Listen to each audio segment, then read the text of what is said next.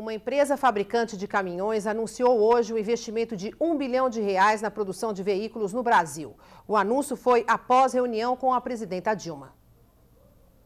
O anúncio foi feito pelo presidente da MAN Latinoamérica, Antônio Roberto Cortes, a fabricante de caminhões Volkswagen no Brasil, e o governador do Rio de Janeiro, Sérgio Cabral. A indústria, que já responde por 99,5% dos caminhões fabricados no país, vai expandir sua produção anual de 70 mil para 140 mil veículos por ano nos próximos cinco anos, com investimentos de um bilhão de reais no Complexo Industrial de Resende, na região sul do estado do Rio de Janeiro. Os investimentos que nós fazemos aqui no Brasil, além de para produzir e vender produtos, mas eles se destinam também para pesquisa e desenvolvimento para que a engenharia automotiva brasileira permaneça e alcance os níveis internacionais. Esse investimento da MAN é muito bem-vindo,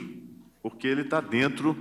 do que o governo da presidenta Dilma é, está construindo nesse, nesses, nesses últimos meses. Nós lançamos um,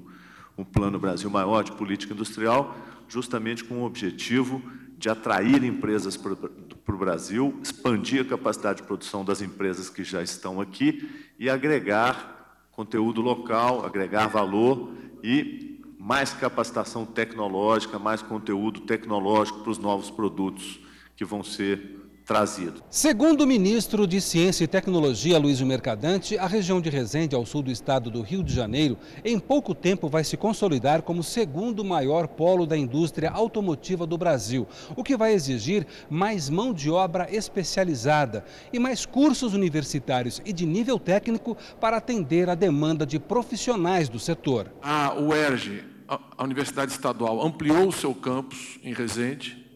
mas precisa de mais apoio no ensino técnico profissionalizante, está totalmente dentro do foco do Pronatec, que é o programa da presidenta Dilma de ensino profissionalizante, para exatamente atender essa pressão, essa demanda de mão de obra, e há um compromisso é, com um consórcio público de 15 municípios que conformam essa região, de colocar mais um equipamento federal para ensino técnico profissionalizante.